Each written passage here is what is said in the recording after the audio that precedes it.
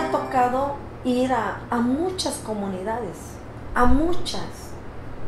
Y he caminado, he ido, por ejemplo, la zona alta de Tapachula, este, fui a, a- he ido a Siltepet, a Andarriaga, a, a, a, a Tonalá, Pijijiapan, toda la costa, toda la costa.